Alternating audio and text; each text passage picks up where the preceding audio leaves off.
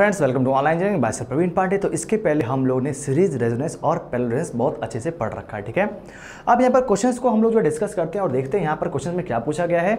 ध्यान दीजिएगा, अगर मैं यहाँ पर सीरीज़ या फिर पैरेलल किसी के बारे में बात करता हूँ तो इंपिडेंस या फिर एडमिटेंस जो होगा, वो प्योरली रजिस्टिव होगा, ठीक है ना? ये इस बात को ध्यान रखिएगा। इसका मतलब क्या है?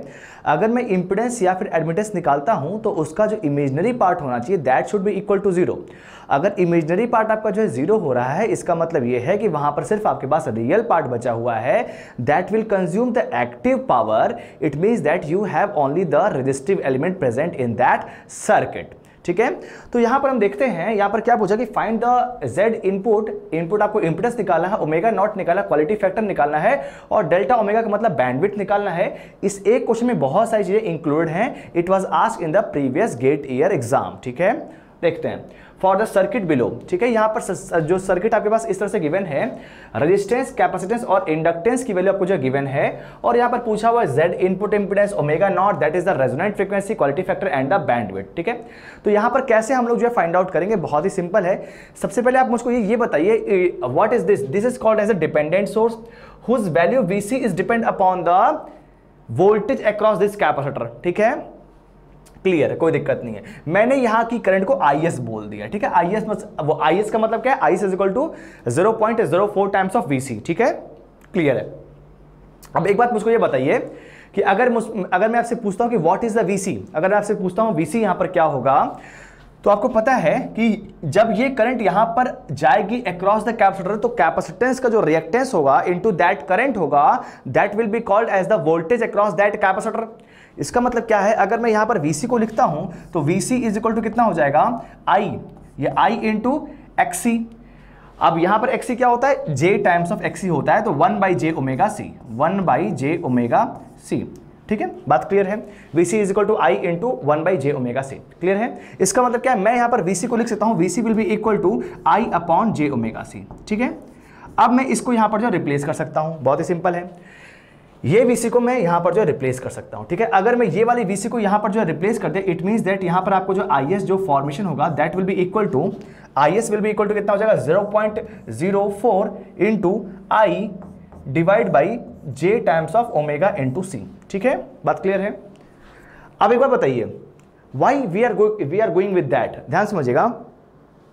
हम लोग को क्या करना है बेसिकली ये सर्किट में हमको जो है टोटल इंपिडेंस की वैल्यू को फाइंड आउट करना है। When we will be able to find out the impedance then only we can find out the value of the resident frequency bandwidth and as well as as well as quality factor ठीक है? तो यहाँ पर देखिएगा, सबसे पहले मुझको यहाँ पर जो इसको इस तरह से ब्रेक करना है कि कैसे भी करके मुझको यहाँ पर टोटल इंपिडेंस की वैल्यू मिल जाए। एंड फॉर दैट पर्पस हमको इसको जो एक सिंपल सर्किट में जो कन्वर्ट करना है। तो यहाँ पर मैं देखता हूँ कि यहाँ पर आपके पास because of the presence of this dependent source या आपका आरएलसी आप इसको जो डायरेक्ट नहीं बोल सकते हैं। तो इसीलिए मैं यहाँ पर आरएलसी सर्किट में पहले इसको जो फॉर्मेशन करूँगा then only we will go for the formulas so that we can determine the what is ask in the question तो यहाँ पर देखिएगा, आपको IS की वैल्यू मिल गई है। कितनी मिल गई? 0.04 आई अपॉन ओमेगा सी तो एक बात मुझको ये बताइए what is the current flow what is the current flowing across this resistor that is the current IR अगर मैंने यहाँ पर इसको आईआर बोल दिया तो आप मुझको ये बताइए कि what is the value of the I R so you can easily determine I R will be equal to कितना हो जाएगा। यहाँ पर मैं जो है केसीएल लगा दूँगा तो I minus of that will be equal to I minus of zero point zero four I upon J omega C ठीक है? ये आपको ये आपको क्या मिल गया? आई आर मिल गया। अब मैं इस वाले लूप में पूरा जो घूम सकता हूँ। इस वाले लूप में मैं पूरा घूम सकता हूँ और मैं यहाँ पर जो केवीएल को बहुत ही इजीली लगा सकता हूँ, ठीक है? तो यहाँ पर देखिएगा, अगर मैंने यहाँ पर जो केवीएल का यूज़ किया तो मेरा यहाँ पर जो लूप का जो इक्वेशन होगा, वो आपका क्या बनेगा? देखिएगा यहाँ पर ध्यान से। तो यहाँ पर देखिए वी इज़ इक्वल टू कितना हो जाएगा? V will be equal to I into XL is XL is equal to कितना होता है? जे इंटू ओमेगा एल होता है। और VC VC is equal to कितना हो जाएगा? ये आपका I upon J omega C हो जाएगा ठीक है? और इसके एक, इसके अक्रॉस क्या जाएगा? आई आर इंटू आर ठीक है? बात क्लियर है। अब मैं यहाँ से इस चीज़ों चीज़ों को जो रिप्लेस रिमूव कर देता हूँ। चीज़ थोड़ी सी जो आपको क्लियर हो जाएँगे ठीक है? ये हट गया ये हट गया ठीक है? अच्छा अब देखिएगा यहाँ पर आपके पास जो इक्वेशन जो फॉर्म हो गया है ठीक है? Now for determining the impedance you have to you have to calculate the impedance with the help of the formula V upon I because we know that if the circuit has the voltage V and circuit has the current I, it means that V upon I will determine the impedance of that circuit. It is the supplied voltage and it is the supplied current. V upon I is called as the impedance of the circuit तो यहाँ पर अगर मुझको जो है circuit का Impress निकालना है तो मैं यहाँ पर अगर जो देखता हूँ तो यहाँ पर आपको आई आर का टर्म आ रहा है। That is the mainly the problem ठीक है? तो मतलब क्या है? मैं यहाँ पर आई आर को रिप्लेस करूँगा। तो आई आर को मैं रिप्लेस कैसे कर सकता हूँ? आई माइनस ऑफ़ कितना आया था? I minus of zero point zero four into I by J omega C ठीक है? ये मेरा जो है आई आ गया था। मतलब I R is equal to I minus of zero point zero four upon J omega C ठीक है? यहाँ पर मुझको ये मिल गया था। तो मैंने यहाँ पर इसको ला करके जो रिप्लेस कर दिया। तो मुझको जो है वी इज़ इक्वल टू कितना मिल गया? I into J omega L मिल गया और plus one by J omega C मिल गया। बात क्लियर है? और प्लस यहाँ पर देखिए, जब मैं इसको जो है यहाँ पर मल्टीप्लाई करूँगा तो यहाँ पर एक आपका जो है आई इंटू आर आएगा। सिंपल सी बात है, यहाँ पर अगर इसको आप जो रिप्लेस करेंगे तो आई इंटू आर होगा और एक बार आर आपका इससे इससे जो है मल्टीप्लाई होगा। इसका मतलब क्या है यहाँ पर अगर आप जो आई जो कॉमन कर लेंगे तो आपके पास सिर्फ़ आर बचेगा फ़र्स्ट वाले में, और सेकेंड वाले में आपको जो, आपके पास कितना बचेगा? Zero point zero four into R by J omega C ठीक है? तो यहाँ पर आपको जो इस तरह के फॉर्मेशन जो हो जाएँगे। तो अगर आप यहाँ पर जो v बाई आई करेंगे तो आपको यहाँ पर जो फाइनली जो है वैल्यू मिल जाएगी। Then what is the value of the v by I which is called as the impedance of this circuit तो v बाई आई आपको जो है देख सकते हैं, v by I is equal to Z impedance हो गया। That will be equal to J omega L कितना आ गया? J omega L plus one by J omega C और प्लस या फिर आप जो है माइनस कर लीजिए, minus zero point zero four R by J omega C और प्लस आर आ गया, ठीक है? ये आपको जो फॉर्मेशन हो गया। This is called as the impedance of this circuit ठीक है? अब यहाँ पर ध्यान ध्यान दीजिएगा, मुझको यहाँ पर जो है R प्लस एक बार बताइए, अगर मुझको पता है कि आर एल सी सर्किट हम यूज़ कर रहे हैं तो उसका जो इंपिडेंस आता है वो आपका जो क्या आता है? R plus J times of omega L minus of one by omega C तो मुझको उसी स्टैंडर्ड वाले इक्वेशन में जो ट्रांसफ़र करना है। तो यहाँ पर हम देख सकते हैं कि मेरा जो इंपिडेंस आया, वो तो मेरा ये आ गया है। तो आप मुझको ये बताइए कि अब मैं यहाँ पर जो क्या कर सकता हूँ? तो impedance will be equal to कितना हो जाएगा? ध्यान दीजिएगा। आर तो आपका हो गया आर प्लस आर तो आपका जो कांस्टेंट वैल्यू होगी। That is the that is a different case ठीक है? अब मैं यहाँ पर जो जे को जो कॉमन करूँगा। तो तो जब मैं यहाँ पर जो जे को कॉमन कर रहा हूँ तो क्या आ रहा है? ओमेगा एल आ रहा है, कोई दिक्कत नहीं है। ये जे ऊपर जाएगा तो क्या हो जाएगा? माइनस जे हो जाएगा। मतलब minus of one by omega C और ये जो ऊपर जाएगा तो माइनस हो जाएगा मतलब प्लस हो जाएगा तो plus zero point zero four into R by omega C ठीक है? बात क्लियर है? तो यहाँ से मुझको जो है बेसिकली फाइंड आउट करना है, ये हमारी स्टैंडर्ड इक्वेशन के फॉर्म में नहीं है। इसको मुझे स्टैंडर्ड इक्वेशन के फॉर्म में जो कन्वर्ट करना है, ठीक है? कैसे करेंगे देखिएगा? तो z इज़ इक्वल टू कितना हो गया? R plus J times of कितना हो गया? ओमेगा l हो गया। और यहाँ से आप जो है ओमेगा सी को कॉमन कर लीजिए। वैसे भी अच्छा ठीक है, आप यहाँ पर जो ओमेगा सी को अगर आप जो कॉमन करते तो फिर क्या आ जाएगा? मतलब आपने एलसीएम ले लिया तो कितना जाएगा? One plus zero point zero four into R, ठीक है? ये आपको जो है मिल गया। ठीक है? I hope it is clear to you और बहुत ही सिंपल है, कोई दिक्कत नहीं आनी चाहिए। या फिर आप इधर, यहाँ पे प्लस उधर जो है माइनस भी कर सकते हैं, कोई प्रॉब्लम नहीं आएगी, ठीक है? एक काम कर, इसको आप जो माइनस ही कर लीजिए, ठीक है? वो बेटर रहेगा। नहीं तो आपको आगे चले कन्फ्यूज़न होगा, ठीक है? क्योंकि आप जो है, ठीक है? ये आपको जो ब्रैकेट में लगा दिया, ठीक है? बात क्लियर है। तो यहाँ से आप जो देख जो देख सकते हैं कि z इज़ इक्वल टू कितना हो गया? R plus J times of omega L minus of एक टर्म आया है अपॉन ओमेगा सी ठीक है? नाउ नाउ बहुत ध्यान समझिएगा, इस बात समझिएगा। अगर मैं इसको जो कंपैरिजन करूँ with the help of the standard equation तो जेड इज़ इक्वल टू क्या होता है sir? R plus J times of omega L minus of one by omega C होता है। Here is what if you compare this equation with this equation you can easily determine that r is there r is also there j is there j is also there omega l is there omega l is also there and in this case omega c is there omega c is there and here some term 1 is there and here some term 1 minus of 0.04 is there now it means that they are not equivalent then what we have to do just see it watch it देखिएगा यहाँ पर क्या हो गया आपके पास यहाँ पर caption सी था ओमेगा तो आपका जो है सेम है, ओमेगा को मैं यहाँ पर जो डिस्टर्ब नहीं कर रहा हूँ, इस वाले फैक्टर को मैं जो सी डैश बोल रहा हूँ। Because of the presence of the dependent source आपका कैपेसिटेंस की वैल्यू चेंज हो रही है और किसी में आपका वेरिएशन नहीं आ रहा है, ठीक है ना? क्लियर है? तो यहाँ पर देखिएगा, मैं यहाँ पर इसको लिख रहा हूँ Z is equal to R plus J times of omega L minus of one by omega C dash what is C dash c dash can be written as c upon 1 minus of 1 1 minus of 0.04 r, ठीक है? C dash आपको जो है कितना मिल गया? C dash is equal to आपको जो मिल गया, यहाँ पर वन माइनस ऑफ़ वन नहीं माइनस मतलब जो है सी अपॉन आप कर दीजिए, वो बेटर है। C dash is equal to क्या होगा? C upon one minus of zero point zero four R ठीक है? तो यहाँ पे आपको जो सी डैश मिल गया तो अगर मैं सी डैश को करूँगा तो इसको, ये दोनों का आपस में, मैं आपस में, मैं यहाँ पर जो कंपैरिजन कर सकता हूँ। अगर मैंने इसको जो है सी डैश से रिप्लेस किया है तो ठीक है? तो यहाँ पर अगर मुझको जो सी डैश की वैल्यू निकल तो that will be equal to C one minus of zero point zero four into R हो गया, ठीक है? अच्छा now have we have the value of the R also we have the value of the resistance also we have the value of the capacitance also. Can we can we determine the value of the c dash very easily. कैसे यहाँ पर जो हम लोग जो c dash की value को find out करेंगे?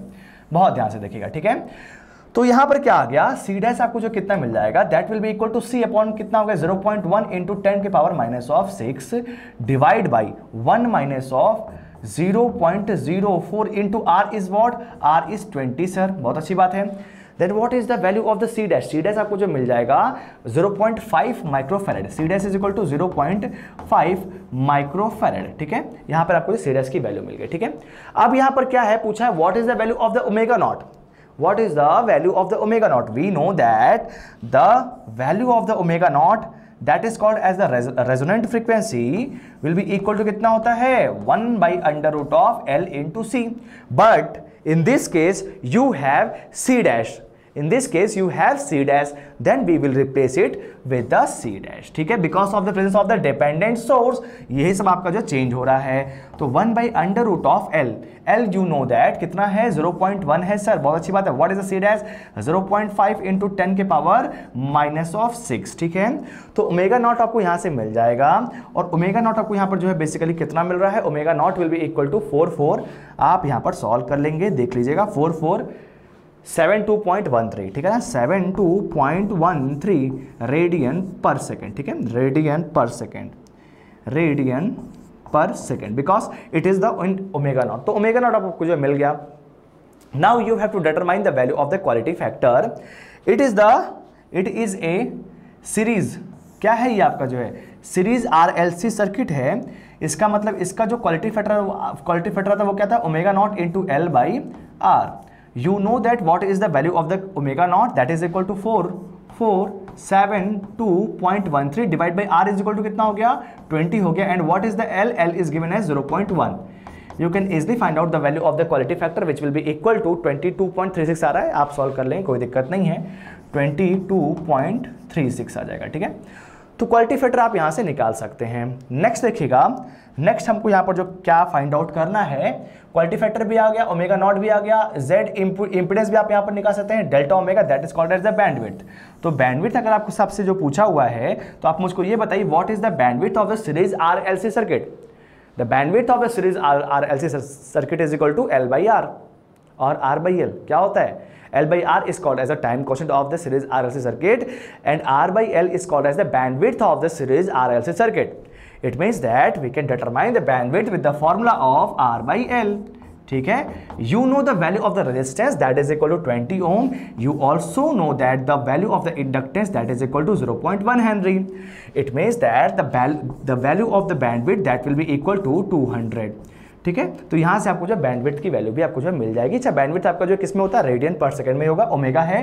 तो ये भी आपको जो रेडियन पर सेकंड में होता है, ठीक है ना? Because it is the inverse of the time constant and time constant का आपको जो सेकंड होता है, उसका इन्वर्स क्या होगा? फ्रीक्वेंसी होगी। बट ये आपकी जो जो आप जो आप बैंडविथ निकालना है, ये आप किसमें निकालते हैं? रेडियन पर सेकंड में निकालते हैं। अगर आपको फ्रीक्वेंसी में निकालना है तो आप इसको जो डिवाइड बाई टू पाई कर देंगे। तो वहाँ से आपको जो हर्ड्स में आ जाएगी, ठीक है? अच्छा तो I hope it is very much clear to one of the good one of the good question which is asked in the GATE exam till now of the resonance ठीक है? मज़ा भी आया होगा सिंपल था, कोई दिक्कत नहीं था, बस यहाँ पर थोड़ी सी कैलकुलेशन थी और वो भी कैलकुलेशन आपकी स्टार्टिंग वाली ही थी। I hope that is clear to you ठीक है? इसके बाद देखते हैं, हमारे पास यहाँ पर नेक्स्ट क्वेश्चन है। Question number two find resonance frequency यहाँ से आपको जो पूछा हुआ कि रेजोनेंस फ्रीक्वेंसी आपको जो कितनी मिलेगी? तो जैस, जब भी ऐसे क्वेश्चन एग्ज़ाम में सर्किट वाले वाले पूछे जाते हैं तो हमेशा आपको या तो इम्पिडेंस या तो एडमिटेंस निकालना है और उसके इमेजनरी पार्ट को इक्वल टू ज़ीरो करना है। दिमाग में एकदम बैठा लीजिए। जब भी पूछेगा, जब भी पूछेगा आपको जो इम्पिडेंस या फिर एडमिटेंस मतलब क्या है? आपके पास सीरीज़ सर्किट हो या फिर पैरेलल सर्किट हो। In that case you have to find out the value of the imaginary part and equate the imaginary part to zero to find find out the value of the resonant frequency please इस बात को अपने दिमाग में as it is रखिए, ठीक है? अब देखिएगा, यहाँ पर ध्यान दीजिएगा। यहाँ पर क्या है आपको जो रेजोनेंस फ्रीक्वेंसी निकालनी है तो यहाँ पर रेजोनेंस फ्रीक्वेंसी आप यहाँ पर कैसे निकालेंगे? देखिएगा। फ़र्स्ट ऑफ़ ऑल मुझे इसका इंपिडेंस निकालना पड़ेगा, फिर इसका इंपिडेंस निकालना पड़ेगा then we will add the impedance of the both the circuits to find out the impedance of the overall circuit ठीक है? तो यहाँ पर देखिएगा, इसका जो इंपिडेंस होगा that is called as the मैं इसको जो लिख रहा हूँ Z1 तो Z1 विल भी इक्वल टू कितना हो जाएगा? ध्यान दीजिएगा। वन इंटू ये आपका जो पैरल में है तो वन इंटू कितना होगा? जे ओमेगा एल तो जे इंटू वन हो गया upon one plus J into one तो कितना आ गया? J upon one plus J ठीक है? ओमेगा एल ठीक है? Omega L J omega L अच्छा ओमेगा को भी मैं यहाँ पे छोड़ दिया हूँ क्या? हाँ ठीक है। तो जे इंटू ओमेगा हो गया। रेजोनेंट फ्रीक्वेंसी हमको जो निकालनी है तो क्या होगा? J omega upon one plus J omega ठीक है? क्लियर है? तो ये आपका जो फ़र्स्ट पार्ट हो गया। अच्छा अब एक बात मुझको ये बताइए, अगर मुझको जो इसके बारे में बात करना है कि इसका यहाँ पर जो कितना आएगा तो इसको भी हम लोग यहाँ पर देख सकते हैं। What is the value of the Z two Z two will be equal to यहाँ पर कौन है? रेजिस्टेंस के पहले में आपका जो है क्या है? कैपेसिटेंस है। तो क्या हो गया? Two into two into one by J omega C तो J into omega into C divide by two plus one by J omega two, ठीक है? R one into R two divide by R one plus R two, ठीक है ना? बात clear है? अब देखिएगा यहाँ पे आपको जो क्या मिल जाएगा। यहाँ पर आपको जो है टू डिवाइड बाई कितना हो जाएगा? टू इंटू टू कितना हो गया? Four into J omega plus one, ठीक है?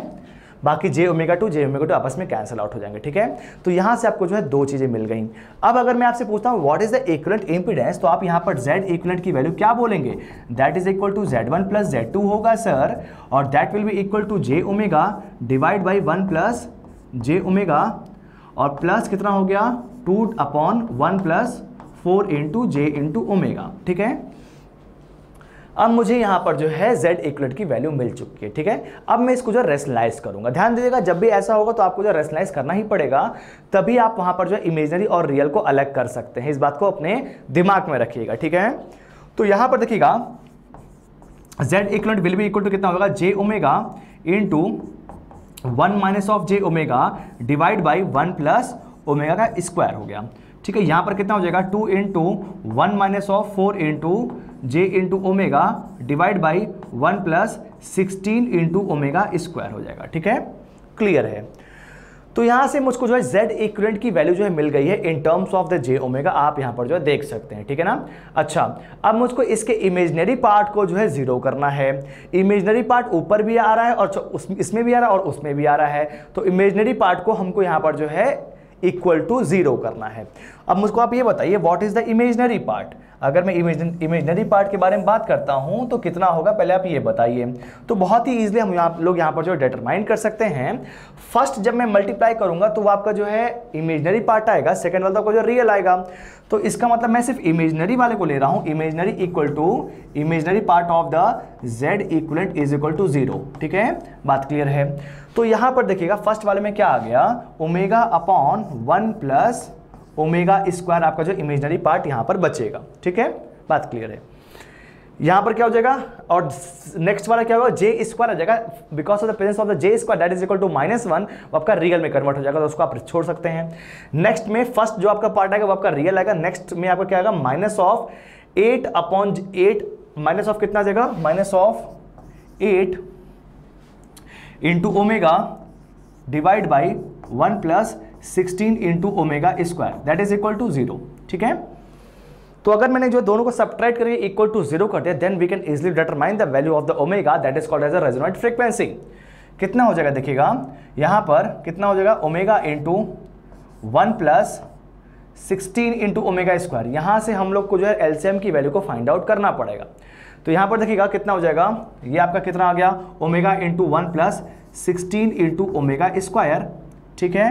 और minus of eight into one plus omega square into omega that is equal to zero ठीक है? क्लियर है? तो यहाँ से हम लोग को जो है ओमेगा की वैल्यू को जो है फाइंड आउट करना है, और यहाँ से हम लोग जो है ओमेगा की वैल्यू को फाइंड आउट कर सकते हैं, ठीक है?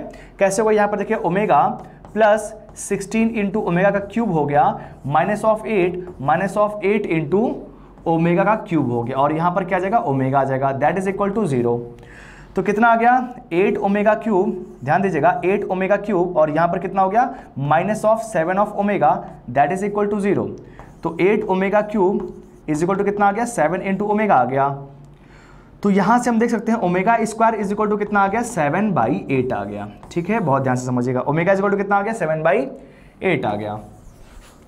अगर ओमेगा इज़ इक्वल टू आपको जो है सेवन बाई एट मिल गया है omega square is equal to अगर आपको जो सेवन बाई एट मिल गया है then you can easily determine the omega that is equal to under root of seven by eight radian पर second this is called as the resonance frequency ठीक है? बहुत ही सिंपल क्वेश्चन था। ऐसे question में हमेशा ऐसे ही आपको जो है डील करना है, जैसे मैंने आपको बताया है, क्योंकि ऐसे क्वेश्चन एग्ज़ाम में बहुत बार पूछे गए हैं सर्किट वाले और सर्किट वाले क्वेश्चन में आपको हमेशा जो है ध्यान रखिएगा। सीरीज़ में अगर है तो वहाँ पर इंपिडेंस के इमेजनरी पार्ट को आप ज़ीरो करेंगे। अगर पैरेलल में कनेक्टेड है तो उसके जो है एडमिटेंस के इमेजनरी पार्ट को आप ज़ीरो करेंगे। To find out the value of the resonate frequency omega I hope it is clear to you ठीक है, इसके बाद देखते हैं हमारा जो नेक्स्ट क्वेश्चन है। फ़र्स्ट सेकंड क्वेश्चन आपका कंप्लीट हो गया है। अब थर्ड क्वेश्चन देखते हैं। This is called as the question number three ठीक है? रेजोनेंस के बारे में हम लोग जो बात करें तो ये हमारा जो नेक्स्ट चैप्टर चल रहा है, ठीक है? ठीक है, इस बात को ध्यान रखिएगा। Two series resonate two series resonate filters are as shown below. Let the 3 dB bandwidth of the filter 1 be B1 and that of the filter 2 it is B2. The value of the B1 upon B2. ठीक है? यहाँ पर मेरे पास क्या है? दो circuit जो है गिवन है. This is called as the circuit one and this is called as the circuit two क्या बोला है यहाँ पर? ध्यान दीजिएगा। वो ये बोल रहा है कि जो फ़र्स्ट वाले का जो आपका बैंडविथ है आपका B1 है और सेकंड वाले का जो आपका बैंडविथ है आपका जो B2 है. This is the this is actually the basic diagram of a filter ठीक है? कौन सा फ़िल्टर अभी टेंशन लेने की बात नहीं है। तो यहाँ पर क्या बोल रहा है कि बैंडविथ का जो रेशियो होगा, वो आपका क्या होगा?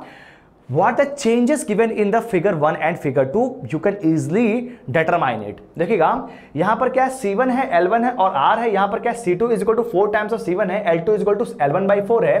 और यहाँ पर भी रेजिस्टेंस है, यहाँ पर भी रेजिस्टेंस है, बाकी सब कुछ क्या है सेम है। बस value of capacitor and inductors are change in the figure 1 and 2 ठीक है?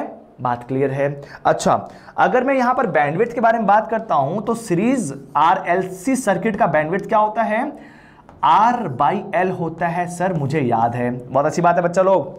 R by L is the bandwidth of the series R L C circuit अगर मैं आपसे पूछता हूँ कि what is the bandwidth of the first figure तो bandwidth of the first figure that is equal to B one will be equal to कितना हो जाएगा? आर बाई एल हो जाएगा sir what is the bandwidth of the second figure in this case, you can easily find out that resistance is same, but the inductor is L1 by R. L1 divided by 4 L1 divide by four और you can say R by L2 तो इसका मतलब क्या होगा? ये आपका क्या हो जाएगा? L1 या फिर L1 डिवाइड बाई फोर हो जाएगा। तो यहाँ पर B2 आपको जो कितना मिल जाएगा? ये आपका B2 है। That is equal to four into R by L one और आपका फ़र्स्ट क्या था? आर बाई एल वन तो अगर मैं यहाँ पर जो B B one upon B two करता हूँ तो B one upon B two अगर मैं यहाँ पर जो डिवाइड करूँगा तो कितना आ जाएगा? वन इज़ टू फोर आ जाएगा। दिस इज़ द रेशियो ठीक है? तो वन इज़ टू फोर होगा और ऐसे भी क्वेश्चन हम बहुत पूछे गए हैं। बैंडविड का formula one of the important है, ठीक है ना? और मैंने बताया था, ये आपका कंट्रोल सिस्टम में सेम टू सेम यूज़ होता है, इसीलिए यहाँ पर अगर आपको जो क्लियर रहेगा तो वहाँ पर भी आपको कोई प्रॉब्लम नहीं आएगी, ठीक है ना? तो थर्ड क्वेश्चन भी आपको जो है काफ़ी हद तक क्लियर हो चुका होगा और पूरा समझ में आ ही चुका होगा। नेक्स्ट क्वेश्चन देखते हैं। This is called question number fourth ठीक है ना? ये क्वेश्चन नंबर फोर्थ है। क्या पूछा हुआ है? A series R L C circuit when excited by a 10 volt sinusoidal voltage source of variable frequency exhibit resonance at 100 hertz ठीक है? मतलब आपको जो फ्रीक्वेंसी रेजोनेंस फ्रीक्वेंसी आपको जो कितनी गिवन है? हंड्रेड हर्ट्ज गिवन है। ठीक है? वो and has a three dB bandwidth of five hertz मतलब क्या है? बैंडविड्थ आपको जो कितनी गिवन है? पाँच हर्ट्ज गिवन है। The voltage across the inductor L the voltage across the inductor L at the resonance, ठीक है ना?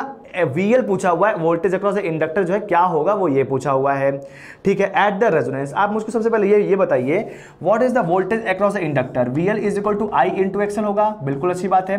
And what is the current I because it is asking about the resonance point, it means that i will be purely resistive in nature. It means that i will be equal to v by r at the point of the resonance. We know that at the point of the resonance, the current flowing in the circuit will always be dependent upon the resistance of the, that circuit. It means that i will be equal to v upon r ही होगा। बात clear है ना? बहुत ध्यान से समझिएगा इस चीज़ को। तो i इज़ इक्वल टू कितना हो गया? V बाई आर हो गया। इन टू एक्सएल हो गया। अब यहाँ पर मैं देखता हूँ कि यहाँ पर क्या क्या गिवन है। वोल्टेज सोर्स आपको जो है वीएल जो है गिवन है। इसका मतलब क्या? वी इज़ गिवन है। वी आपको जो कितना मिल गया? आपको जो है टेन वोल्ट यहाँ पर गिवन है। Source of variable frequency exhibit यहाँ पर जो है आपको रेजोनेंस फ्रीक्वेंसी आपको जो गिवन है, कितनी गिवन है? यहाँ पर एफ़ आर आप बोल सकते हैं that is equal to hundred hertz मैंने लिख दिया ठीक है ना? बात क्लियर है। वो and has a three dB bandwidth मतलब क्या आपको जो बैंडविड्थ यहाँ पर गिवन है, कितनी गिवन है? फाइव हर्ट्ज गिवन है, ठीक है? बात क्लियर है। अब वीएल पूछा हुआ है तो वीएल के लिए मुझको यहाँ पर जो क्या क्या चाहिए? तो बैंडविथ का फॉर्मूला मुझे पता है। In case of the series circuit we know that the formula of the bandwidth is R by L होता है, ठीक है? आर बाई एल होता है। तो यहाँ से क्या मैं यूज़ कर सकता हूँ? होमो मोमो यहाँ पर से हम जो है इसको जो कैसे यूज़ करेंगे? वी सी अच्छा ओके देखिएगा, यहाँ पर। क्वालिटी फैक्टर आपका जो सीरीज़ का होता है, वो क्या होता है? वी एल अपॉन वी होता है। Mod of V L divide by V होता है। It it mean that it mean that V L is equal to क्या हो जाएगा क्वालिटी फैक्टर इंटू वी हो जाएगा।